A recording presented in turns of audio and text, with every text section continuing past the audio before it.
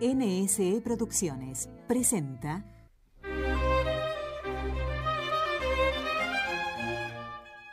Un tesoro escondido. Madurez, sabiduría y serenidad. Nuestros ancianos tienen una misión que cumplir. Este es un espacio dedicado y protagonizado por nuestros mayores, que desean compartir con nosotros un tesoro escondido, el de su experiencia y su fe.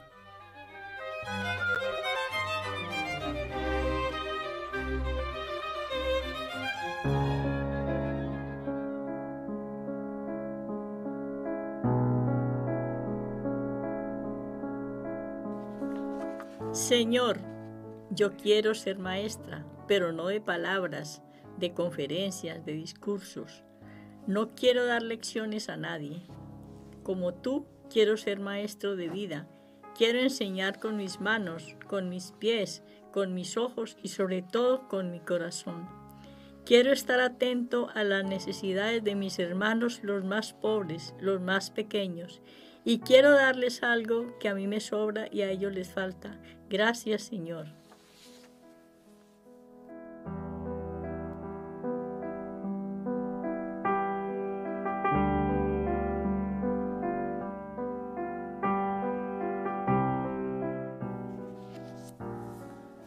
Bienvenida, hermana Mildred. Mucho gusto. Otra vez los tres aquí. Raúl al control, Montserrat aquí intentando llevarlo todo en la locución y la hermana Mildred Mejía eh, explicándonos las obras de misericordia, parte. Pero antes, en un programa anterior, hace un tres o cuatro programas, El 10 de octubre. quedó, sí, quedó, estábamos explicando a la Iglesia Católica como el programa tiene un tiempo, no, nos, no acabamos de explicar todo, y quedó una cosa muy importante que terminamos en este programa, ¿te parece, no, hermana? Sí, ¿Qué- una- de la Iglesia Católica, ¿qué quedó Una pequeña que se tiene que decir una forzosamente? pequeña- Bueno, pues mm, como bien dice Monse, fue un programa sobre la iglesia, que es un cuerpo místico, que tiene cabeza, que es Jesucristo. El cuerpo lo formamos todos los miembros que pertenecemos a la Iglesia Católica. Y tiene un alma que es el Espíritu Santo. Bueno, pero, este, pero todos los cuerpos, tanto espirituales como corporales, tenemos una vida, tenemos que movernos. Pero, pero ¿por qué? Porque, nos, porque tenemos un órgano muy importante que sin él no funcionaría. Y el órgano que, le fal, que, me falta, que me faltó decirles que tiene la Iglesia Católica como cuerpo místico es el corazón. Claro, el más importante, el que El le da más impulso. importante porque sin el corazón no hay vida. Pero ¿cuál es el corazón de la Iglesia de la Iglesia Católica? ¿Cuál es, Del hermana? cuerpo místico. Eh, es la Eucaristía. Claro que, es el alimento, que No, es el alimento de la iglesia y alimenta Claro. a todos sus miembros y mientras vivamos mm, con este alimento espiritual y material, porque cuando recibimos la Eucaristía recibimos a, a Cristo con su cuerpo, con su sangre, con su alma y con su divinidad, como estuvo en, en, la, en, las- en la tierra. La diferencia es que ahora no lo vemos, pero Él está en la Eucaristía. Hay que tener fe y creer que esto es una realidad, porque la, la Iglesia no, no, no miente. Y además está en la Sagrada Escritura que Jesús instituyó este sacramento el jueves santo antes de su pasión. realmente, Es la Eucaristía y, y tenemos que alimentarnos todos los miembros para mantener la unidad de la Iglesia. todos, que no la. Eucaristía. Bueno, Y como más amigos, gente se una, les pido mejor. perdón por este fallo porque es muy No, no importante. nos la Iglesia sin corazón pues no funciona. Pero si no es un fallo. Lo- Bueno, Tú piensa un que olvido, tenemos un, tiempo limitado y más o menos nos formamos un guion y vamos hablando y luego resulta, claro, la hermana después, cuando acabamos el programa, dijo, me ha quedado decirlo del corazón. Claro. Que le la respondí, no, no hay ningún que es problema. el soporte, en el próximo programa que hagamos, lo que termines es de el explicar. soporte de la Iglesia la Eucaristía. Claro, se da por entendido, La pero muchas gracias por de decirlo tú.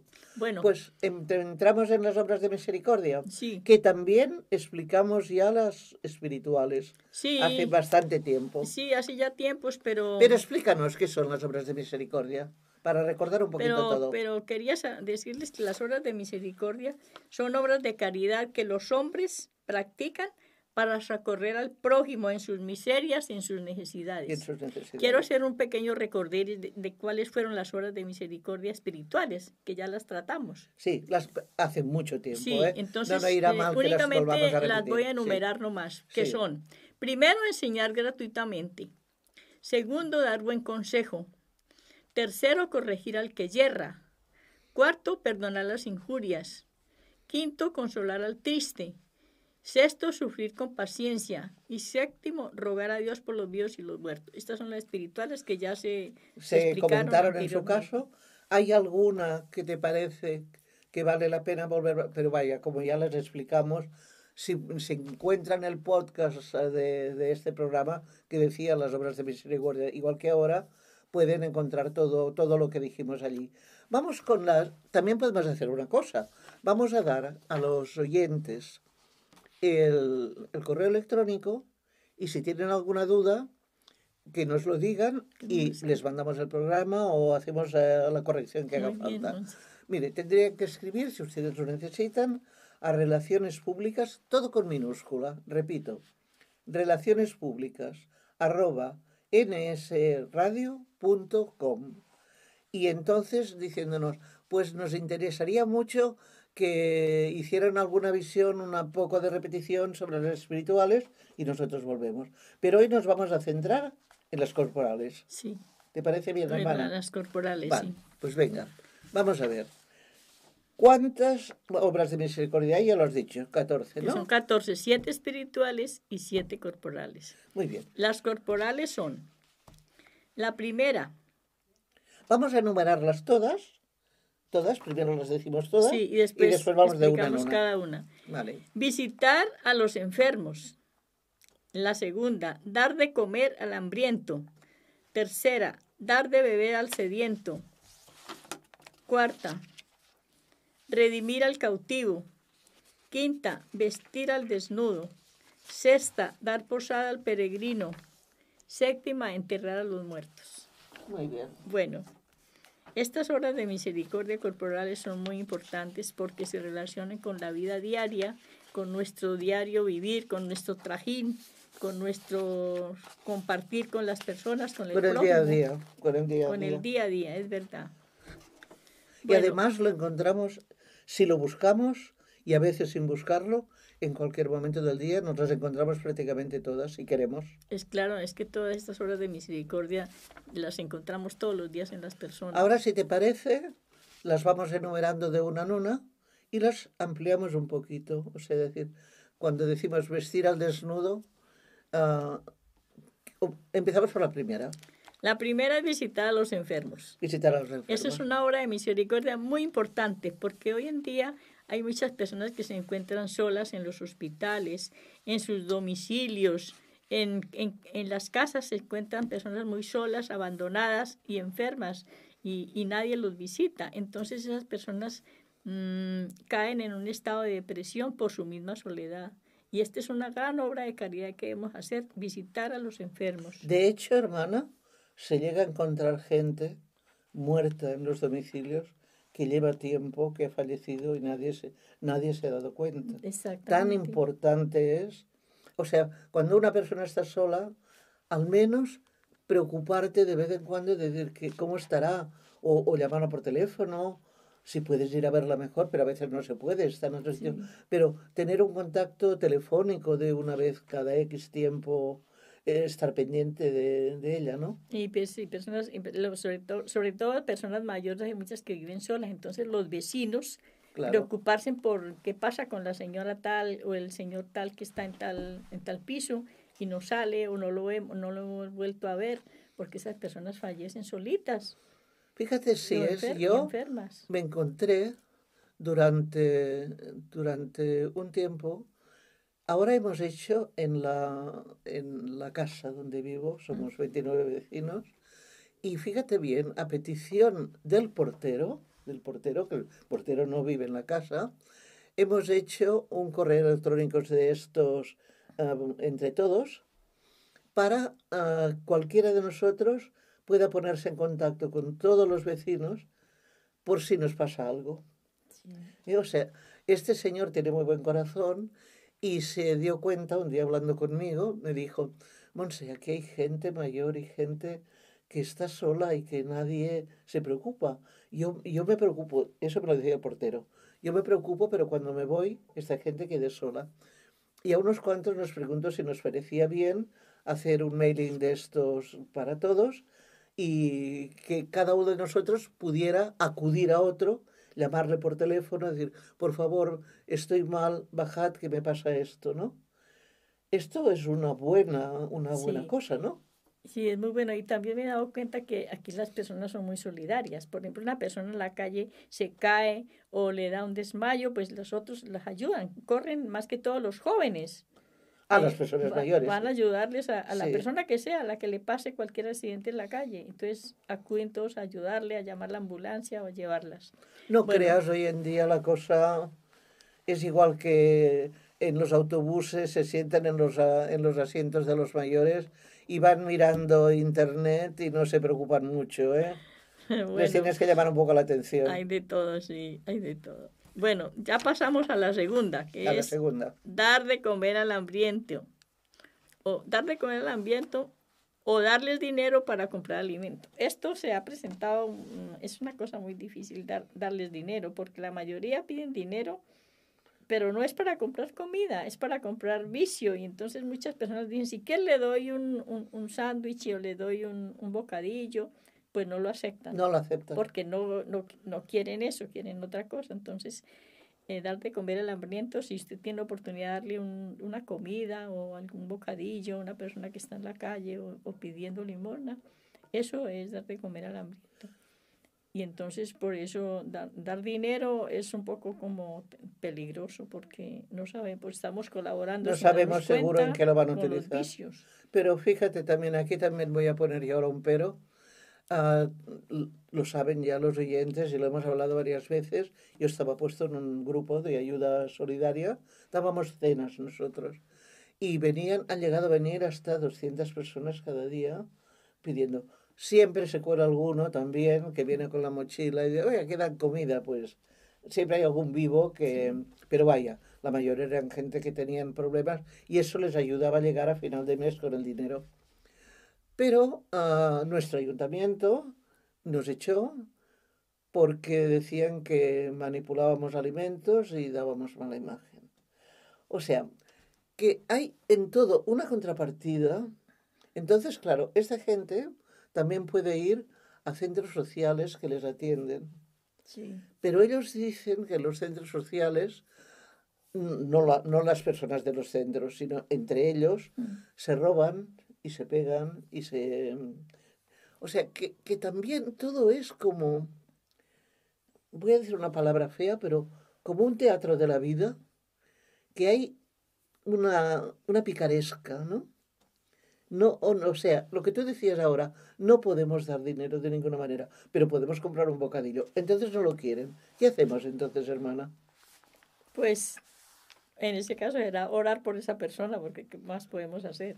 Mire, lo importante es uno tratar de hacer la caridad, sin pensar, sin empezar, empezar a, a, a pensar que Sí, sea sí o sí no, ¿no? Sí. Dar la caridad y Dios verá que él, verá- él es el que conoce los corazones y sabe el otro cómo se va a comportar. Pero tú le sale el corazón da- hacer una ayuda. Pero ir con cuidado al dar dinero. Eh, Claro, eso es verdad.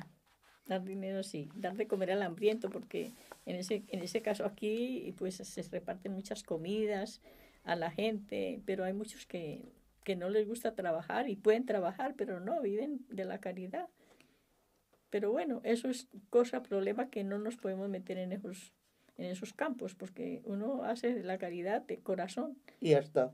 Ya está. Esa sería la segunda. A ver cuál es la tercera. Dar de beber al sediento. Sería lo mismo, ¿no? Pero no le demos cerveza. pero no de beber licor, ni de beber nada de eso, ni, ni nada, nada de eso de beber. Beber agua o, o un zumo o cualquier otra cosa, pero dar de beber al sediento. Comprarse una botellita el de agua tenga- y ya El está. que tenga sed, dar de beber al sediento. Hay muchos que le piden a uno un vaso de agua, dame un vaso de agua. Mm, Pues con, con cariño se le da, porque Dios dijo que ni un vaso de agua que se dé quedará sin recompensa. Claro. El Señor es el que recompensa todo, de manera pues que hay Bueno. que dar, hay que, hay que dar comida, bebida, pero no bebida que, que se descontrole la gente con la bebida, no, porque eso está mal. ¿Qué más? Bueno, hay otra que es muy importante. Redimir al cautivo. Vale. O poner fianza para que un preso salga de la cárcel. Bueno, ahí también. Es que claro, todo tiene su contrapartida. Pero bueno, redimir al cautivo, eh, en realidad los presos son personas que merecen que merecen darles un apoyo, ya sea espiritual o material, porque eso no se sabe, no saben cómo sufren los presos, una gente encerrada, y los que tuvimos en el, el, el COVID, encerrados, eso es desesperante, ¿cómo será esos que están años y meses y días y años enteros en una cárcel? Eso es deprimente. Entonces, redimir al cautivo es, por ejemplo, dar una fianza para que una persona salga de la cárcel a sabiendas de que esa persona no es una persona muy peligrosa porque ha cometido cualquier eh, fallo o es una persona que no tiene quien le dé una fianza, pues para que un preso salga de la cárcel, porque salen de la cárcel peores. A es, veces. eso es lo o sea, la eh, cárcel, por, lo que, por lo que nos dicen, no sé, pero la cárcel tiene dos dos puntos de vista, se hace para que la persona que ha cometido una infracción o un delito grave, y tú lo sabes más que has estudiado abogacía, no uh, queden encerrados y que no puedan hacer daño a nadie.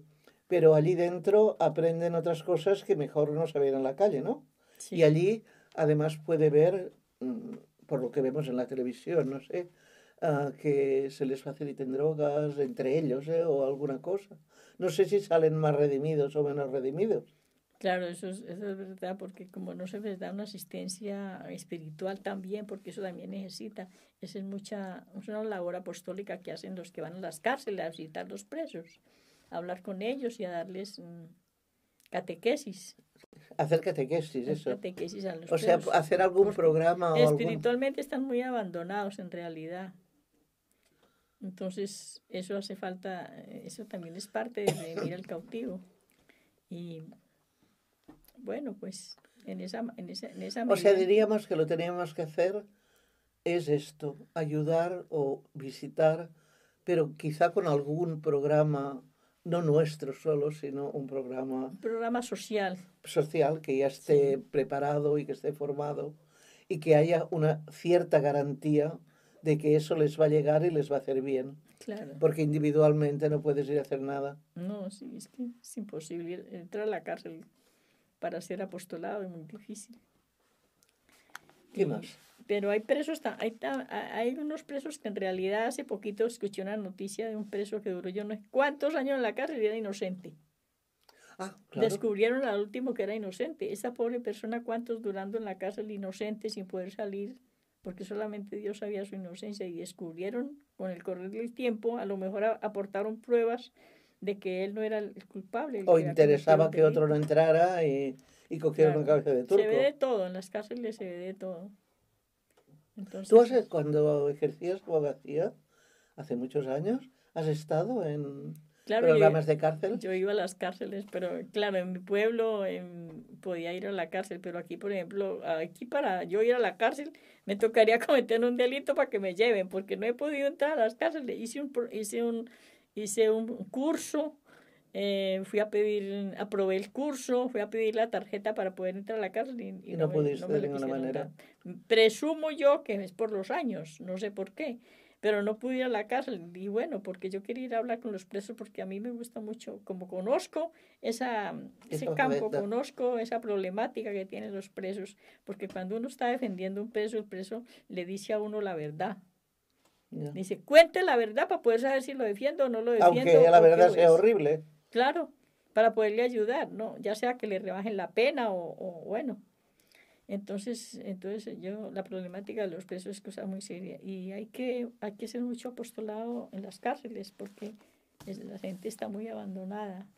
Pero quizás siempre es mejor, supongo que en, agrupaciones, no digo nombres porque hay muchas mm. agrupaciones de ayuda a los necesitados, deben tener una rama dedicada a esto y, y mejor meterse en una asociación que esté muy preparada, porque claro, si ahora voy yo tengo una amiga, mira, precisamente la de ir a visitar a una señora que ya es muy mayor, pero ha estado escribiéndose con un preso que conoció y no, ese tenía, tenía su culpa ¿eh? y la reconocía. Sí. O sea, no. Pero se escribían espiritualmente, ella le eh, rezaba por él y le mandaba ánimos.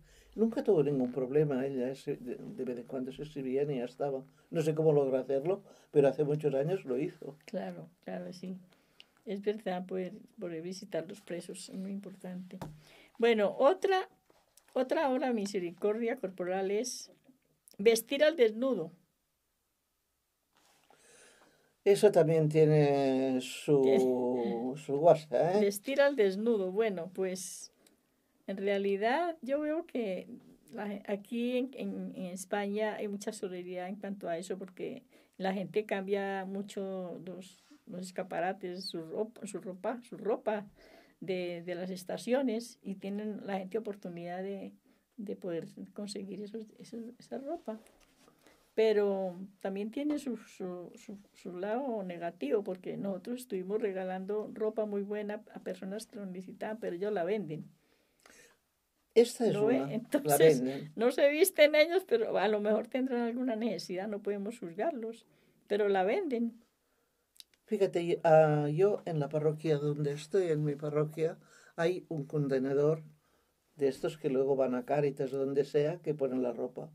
Entonces, algunas veces nos reunimos y hablamos sobre este tema y el señor rector nos dice sobre todo que no hay derecho la gente que da ropa de la manera que la da, ropa rota, No, destrozada que ya no quieren. no es que eso tampoco Entonces, es una que hay- hay de- dos- Eso sí que es falta de misericordia. Esto es falta de misericordia. Claro, Entonces te encuentras, claro, hay quien no, quien tiene una bolsa, la deja y está bien. Entonces corres el peligro de que la vendan o el peligro de que pobres les tomen el pelo y además es esto, es una falta, es No, una hay que de dar una cosa buena porque- negativa totalmente, ¿no? Eso Hermana, es. nos quedan tres minutos. ¿Qué, qué más podemos decir? de vestir al desnudo, pues no encuentro qué. Vestir al desnudo. Y la otra es dar posada al peregrino.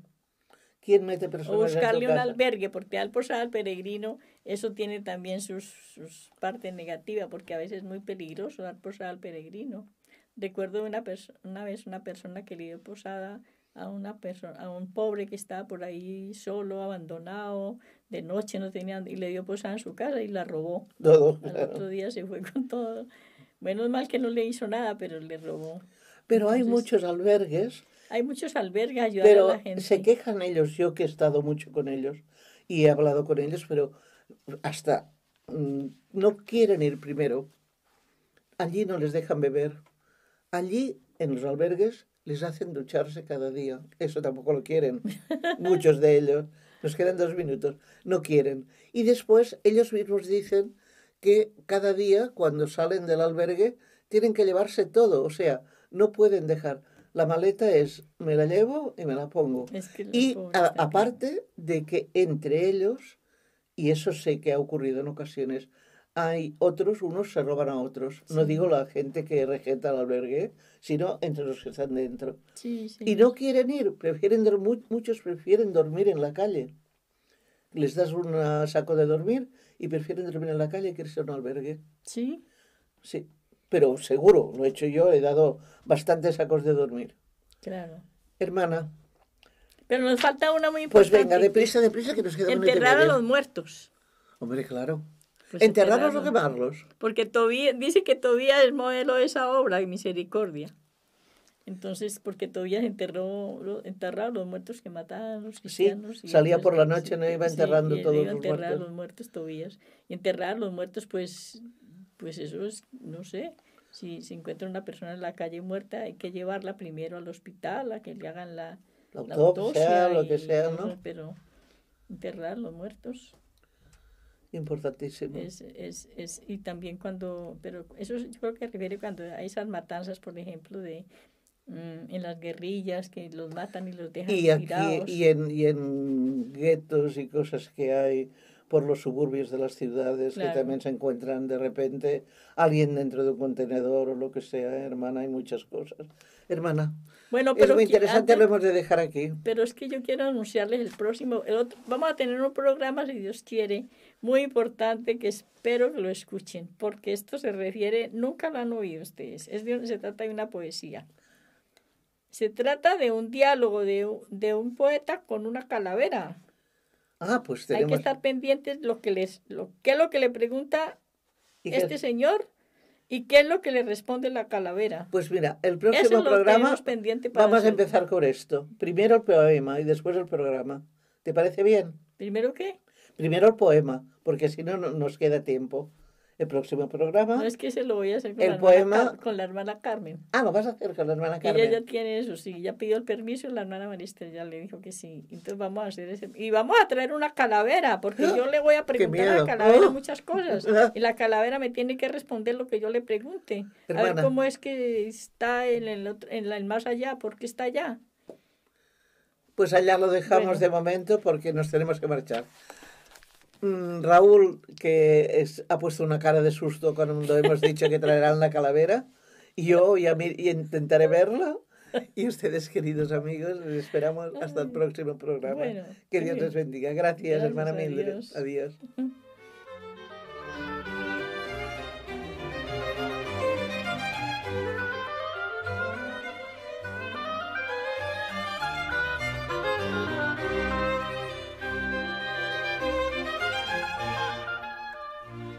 Has escuchado Un Tesoro Escondido, un programa de NS Radio porque nuestros mayores tienen un tesoro de sabiduría para compartir.